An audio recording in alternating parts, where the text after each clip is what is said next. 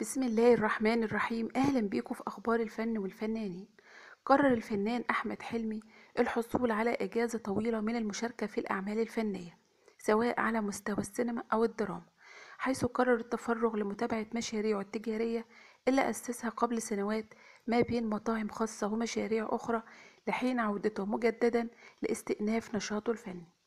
وقالت مصادر إن أحمد حلمي اتخذ قرار نهائي بالحصول على فترة راحة طويلة.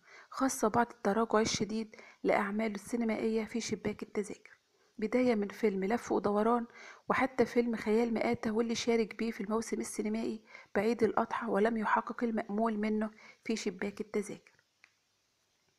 وأضافت المصادر إن حلمي قرر إعادة حساباته من جديد حيث رفض مؤخرا عرض من إحدى شركات الإنتاج للتعاقد على بطولة عمل درامي يخوض به المنافسة الرمضانية لعام 2020 بالإضافة لعمل سينمائي أيضا لموسم عيد الفطر المقبل على أن يخفض حلمي أجره.